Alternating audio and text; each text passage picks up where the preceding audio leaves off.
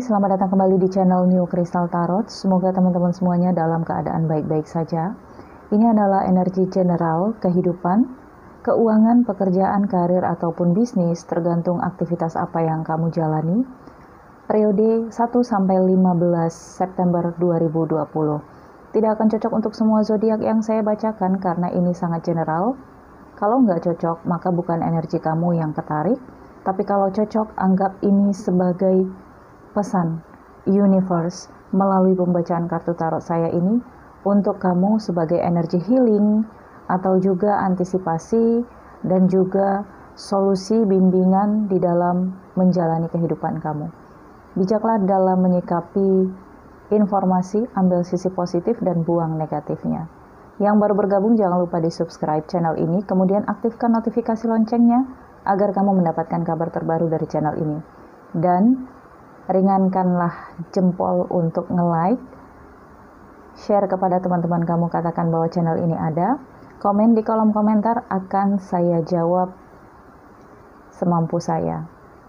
Dan follow juga Instagram Kristal Tarot Indonesia, ID-nya ada di deskripsi video.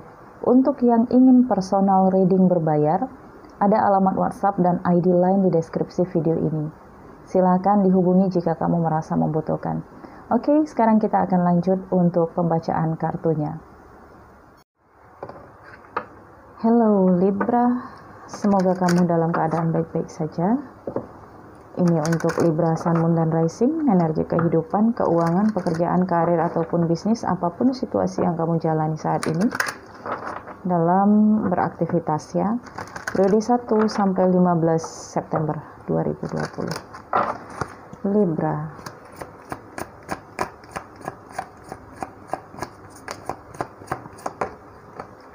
Okay. Aina, leap of faith, take a risk and put your heart through desire into action. Melompat lebih jauh. Mungkin di masa sebelumnya kamu sudah mundur selangkah, kamu udah sabar, kamu mandek. Nah saat ini ternyata ada satu action yang ternyata uh, satu kali lompat dua tiga pulau terlampaui, begitu ya istilahnya. Oke kita lihat untuk Libra.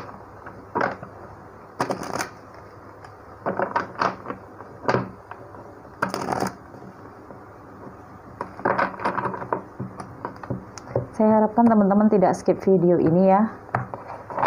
Karena pendapatan ekstra di sini untuk biaya perkembangan video channel ini. Oke. Okay. Untuk Libra. Kartu pertama di sini ada King of Wands. Ada bimbingan, arahan dari seseorang untuk kamu ya Libra seorang yang lebih dewasa, lebih berpengalaman. Bisa jadi, uh, sorry, bisa jadi ini adalah energi kamu King of Wands sendiri. Jadi kamu sedang tahap dalam membimbing seseorang. Dua kartu di sini Two of Pentacles ya. Sepertinya kamu mendapatkan pekerjaan tambahan di sini ya, seperti ngajar ataupun daring di sini ya. Ada situasi yang menambah pendapatan kamu di sini dari Two of Pentacles. Jadi kamu harus pintar-pintar ngatur waktu. Dan Ten of Pentacles di sini, wow, ada ketentraman, kebahagiaan, ngumpul bersama keluarga. Mungkin juga di sini ya hasil dari kamu mendapatkan pekerjaan baru ini, hasilnya langsung kamu dapatkan dan kamu traktir keluarga di sini Libra. Dan di sini lihat ada adjustment ya. Jadi pengalaman ini membuat kamu sadar bahwa kamu berpotensi, bahwa banyak hal dari diri kamu yang bisa kamu lakukan untuk mendapatkan sumber keuangan dan kamu terus meningkatkan kreativitas kamu dari Ace of Sword ini. Nah, jadi benar-benar kamu rasanya wah kalau bisa ada nih satu lagi pekerjaan seperti ini untuk waktu kosong kamu dan lumayan hasilnya. Oke, kita lihat ya.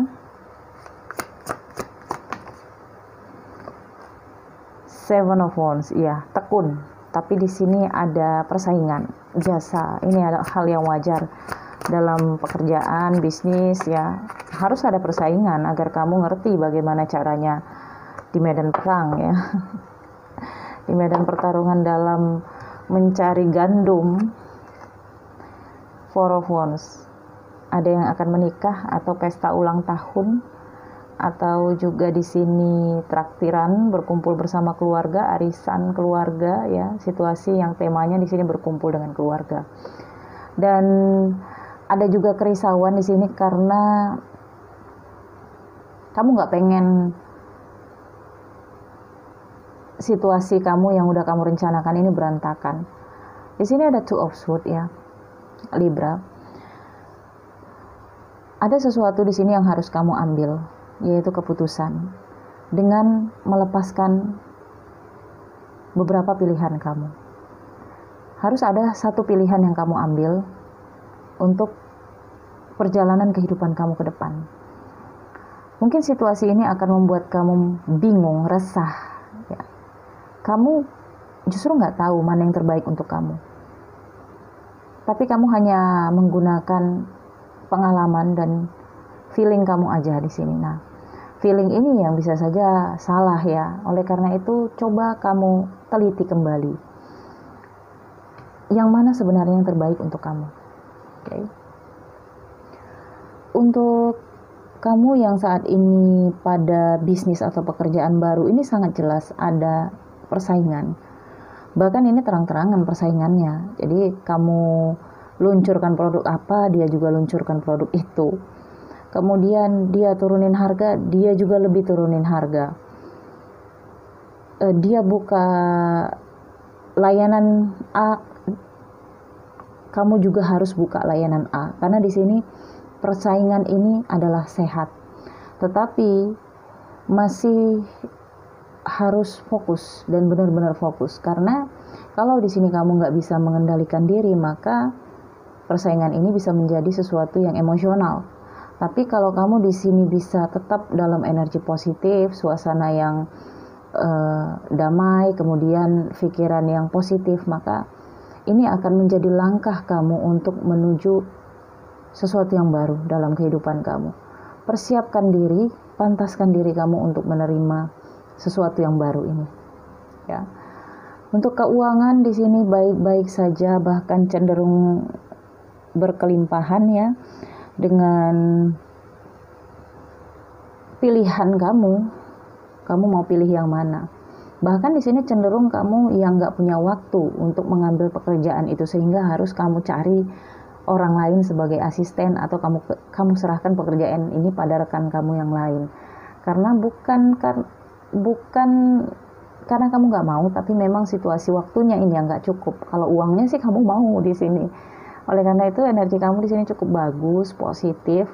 Ide-ide kamu terus kamu kembangkan dan di sini ada adjustment, kamu juga meninggalkan kebiasaan-kebiasaan buruk menuju sesuatu yang lebih baik. Ada desakan juga untuk menikah di sini jika kamu yang belum menikah.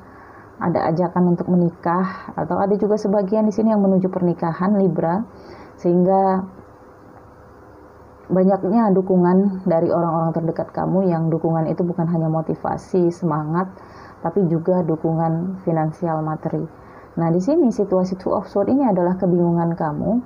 Ketika kamu berada dalam situasi pilihan ini, mungkin kamu berada dalam situasi pekerjaan yang masih begitu padat jadwalnya, tapi sementara jadwal kamu di sini untuk acara pernikahan udah semakin dekat di sini ya.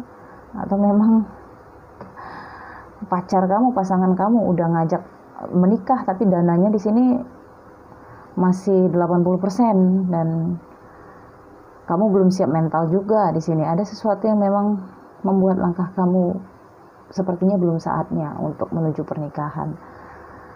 Nah, untuk masalah lain saya lihat di sini hati-hati saja dengan persaingan konflik ini ya. Mungkin akan terang-terangan seperti yang saya katakan tadi eh, dalam menjatuhkan nama produk kamu, tapi mungkin nggak sebut nama ya, menjatuhkan produk kamu atau seperti ya eh, menjatuhkan hasil kerja kamu gitu, memburuk-burukan itu akan ada dalam periode ini karena persaingan ini seperti yang saya katakan kalau nggak terkendali bisa persaingannya ini terasa emosionalnya. Tapi kalau terkendali kamu bisa bersaing secara sehat. Ini kamu belum tentu rival kamu atau saingan kamu bisa bersikap sama. Kalau dia di sini uh, emosional dan sangat ambisi maka bisa saja kamu di sini harus melepaskan sesuatu itu. Entah kamu pindah atau kamu ngeblokir dia atau ya bagaimana jalan yang terbaik yang kamu pikir itu adalah baik untuk kamu dan tidak merugikan kamu. Oke, okay, intinya di sini adalah leap of faith. Melompat lebih jauh untuk mendapatkan keberhasilan. Dan keberhasil sorry, dan keberhasilan ini terkait dengan kepuasan hati kamu. Oke, okay, terima kasih untuk Libra jika kamu suka video ini jangan lupa di like, komen, share kepada teman-teman kamu, katakan bahwa channel ini ada. Salam hangat penuh cinta. Bye-bye.